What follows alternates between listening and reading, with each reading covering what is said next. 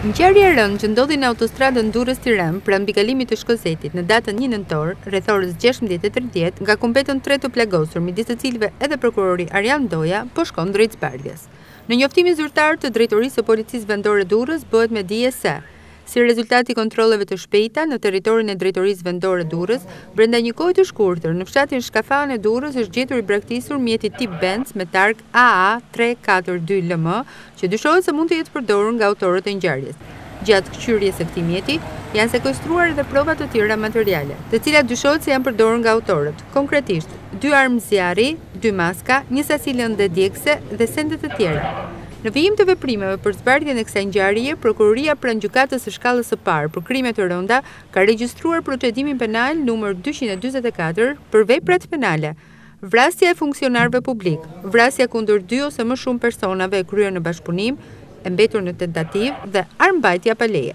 Për dokumentimin ligjor në lidhje me autorët e mundshëm të kryerjes së kësaj ngjarje të rëndë kriminale, me qëllim zbulimin dhe sekuestrimin e provave materiale, iu kërkua Gjykatës së Shkallës së Parë për Krime të Rënda lejimi i kontrollit të banesave të njëmbëdhjetë shtetasve me banim në Krujë dhe të katër shtetasve me banim në Tiranë dhe në Lushnjë. Si rezultat i këtyre kontrolleve, u gjetën dhe u sekuestruan prova materiale që dyshohet se kanë lidhje me autorët e mundshëm të kësaj ngjarje.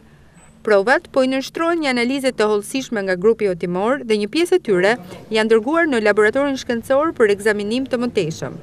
Nga tërësia e tyre dhe bazuar në dyshimet e arsyeshme, u bë ekzekutimi i urdhër-ndalimit të lëshuar nga Prokurori i Krimeve të Rënda për shtetasin me iniciale RR, tridhjetë e katër vjeç, lindur dhe banues në fshatin Nikël, Fushë-Krujë, i dyshuar si një nga autorët e mundshëm të plagosjes me armë të prokurorit dhe dy shtetasve të tjerë, saktësohet në njoftimin zyrtar të Policisë së Qytetit Bregdetar. Personi i përmendur në deklaratë është Redian Rraja, një emër i njohur për drejtësinë shqiptare. Gjurmët e gjetura në makinën e braktisur në fshatin Shkafan kanë çuar në arrestimin e tij, i cili është bërë pas një aksioni të gjerë nga policia, FNSH dhe RENEA, që u shtri në disa qytete të vendit. Nga aksioni, uniformat blu kanë shoqëruar dhe vijojnë të shoqërojnë persona që dyshohet se kanë lidhje ose dijeni për ngjarjen.